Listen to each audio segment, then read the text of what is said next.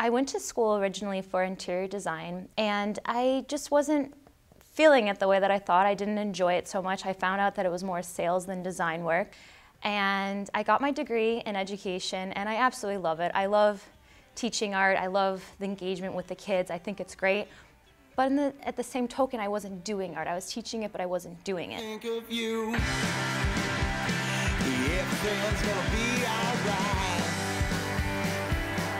My husband is a Canadian native, and he ended up moving to the States when he was uh, seven years old, and we met in high school. And we ended up getting married, and he and I at the time were at, you know, in a kind of a, a, funky limbo where we were trying to figure out our career paths and we knew we were trying to move on to the next, the next step in our lives. It was a little bit intimidating at first, but I told him that I would be happy moving to Toronto, but I am a city girl. I love the city. I said we can move to Toronto, but I want to live in the city. And since moving to Toronto, my art career has really taken off. Uh, once I started tapping into the live art, it was really neat because people started seeing what I was doing and people were telling me, well, you need to start filming this.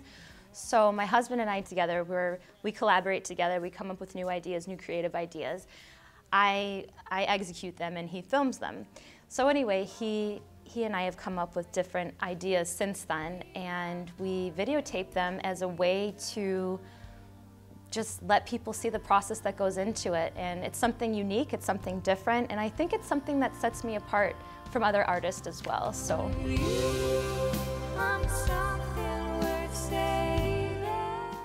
Originally I wanted to just put in, you know, whatever, a song that I like or a song, any song from the radio that anybody might hear. But then you kind of fall into all kinds of copyright issues and everything, and we wanted to do things the right way. On the plus side, after moving to Toronto, I ended up meeting some fabulous friends, and they happened to be in bands. Um, the first set of friends that I made, they are in a band called the Canadian Shield, and they were more than happy to let us use their music. And through them, I've met um, the Petty Victories, Shabamzy, Wildlife, all of the, all of the uh, videos I do incorporates the music from the friends that I've made. So it's kind of a really great effect of, you know, they're artists as well. I'm helping them out, they're helping me out, and uh, together we're able to make a pretty cool composition, I think.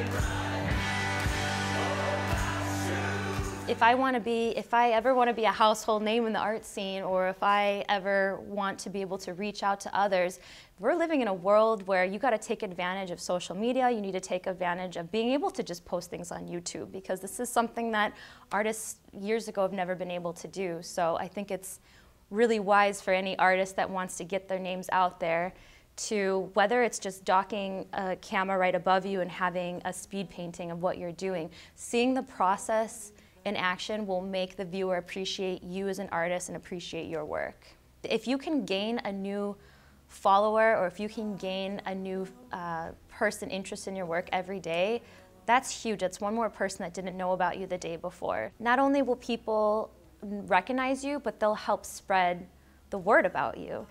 And I just really think it's important for all artists out there to just continue doing what you do. Practice your craft every day. It's so important to hone in on that creative talent that you have. Practice it every day. Believing in yourself and having confidence in your work and putting your work out there for people to see as much as possible. But I know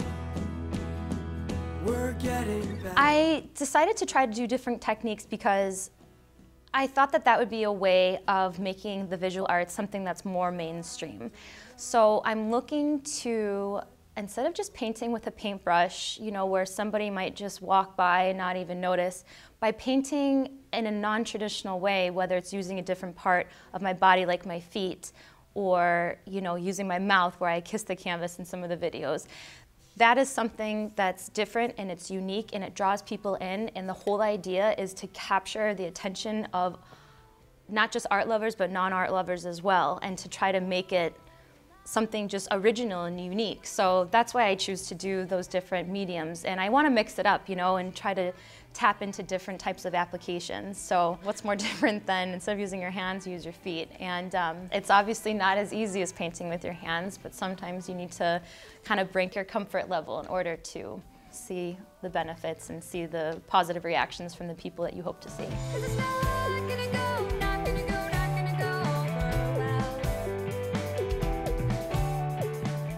I first saw Alexis's art through my son who lives in Toronto and I saw her YouTube presentations and thought what a wonderful thing to bring to Confederation College. She's unique. She uses, uh, she drums and does art. She uses her lips and does art and she proposed to do art with her feet. So I thought what a way to do our Live in the World presentation with a great artist. So what I came up with is I did a very androgynous looking face. It could be either male, it could be female, doesn't matter.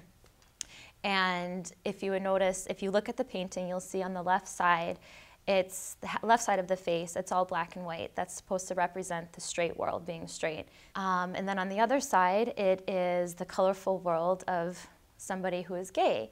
Um, and that basically just represents that their world isn't so black and white. It isn't so simple, isn't so laid out. Um, but they are the way that they are, and that's what makes them beautiful people. That's what makes them unique. And by meshing the two images together, it basically is just res resembling coexistence and being able to coexist in each other's world because this is the way it is, and it's the way it's always going to be. And if, if straight individuals expect for um, homosexuals to be able to coexist in their world, it should go the other way around too. It's a two-way street. So it's just about coexistence is what the piece comes down to.